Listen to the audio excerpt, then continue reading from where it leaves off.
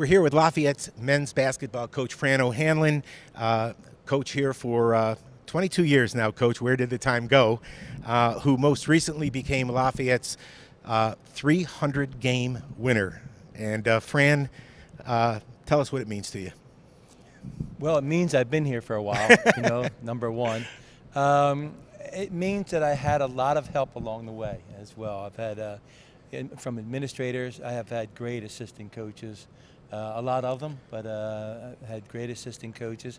And obviously the players have won the games for me. I had some terrific guys that uh, did what I asked them and, and worked very hard.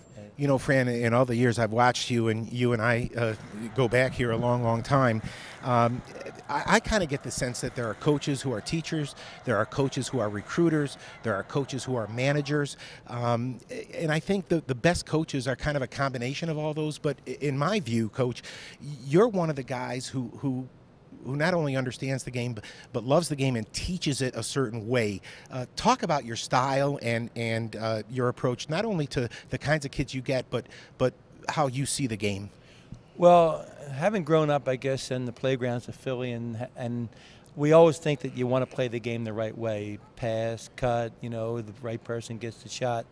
And this is a program and it's a school that you really have to rely on developing people within your system, uh, developing uh, to be better basketball players. We may not be beating out some schools for players, but development's a big part of it, teaching them how to play the right way. Um, and that's what we focus on is, is, just trying to teach people to play the right way. Um, and it goes back to, as I said, my upbringing and how I learned the game and uh, how I think the game should be played. I've been around three great coaches in my lifetime, uh, and, and uh, uh, obviously uh, the guy I played for in college, he has a connection here to Lafayette. That's Roy Chipman, and my high school coach Tom Cooney. But since coming here, um, Butch Van Breda Kolff, Pete Carril, and and coach, I'll put you right in that group. Uh, uh, you know, Mike Krzyzewski, the, the Duke coach, I heard him say one time that when he was asked, what advice would you give your, your colleagues, your younger guys coming up? And he said, don't let it blow your mind that there are a bunch of guys at the lower levels, even in high school, who could coach your socks off every day of the week. What do you think he meant by that? Well, I think what he meant it was exactly what he said. Uh, you know, and I've been I've had the good fortune, I guess you would say, of I've been a high school coach. I've I've coached overseas. I've coached, uh, uh, you know, lots of different levels.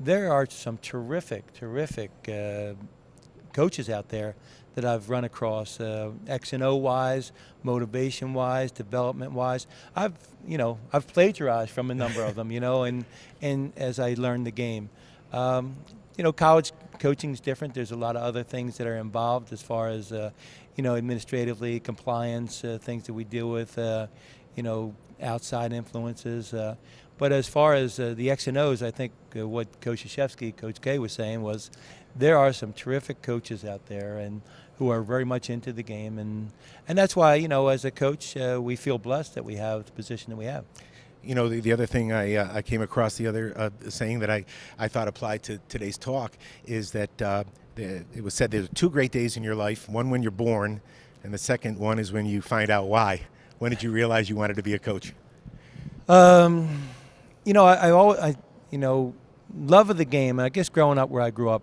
I was always a, a sports person, whether it's football, baseball, basketball. Um, and I guess going into high school, uh, some of the people that I had around me, we it, it was just kind of a culture uh, that you saw. Whether it was the Wally Jones and the and the Earl Monroes that grew up in my neighborhood, Wilt Chamberlain, not that I'm the same age as Wilt, uh, but I used to see him play. Uh, there was a culture there, and you just fell in love with the, the the way the game, where they played it, the competitiveness of it, the playgrounds, just to get on a court. You know how competitive you had to be. Um, but I, I, didn't know that I was going to be able to do this for the rest of my life. Uh, you you would hope so, yeah. but uh, when I got into college, I was going to be a teacher and a coach. That was always my goal. I had so many role models, whether it was Dan Doherty, Billy Hoy, uh, you know Jack Kraft all guys that had started out in education and had coached. Um, and I was fortunate enough that I became a, um, you know, a coach and be, was able to do this for the rest of my life. and a very successful one at that. Uh, Fran, yeah, 300 wins means you've been here a long time, and that's lucky for us. Thanks for spending time with us. Thank you, John.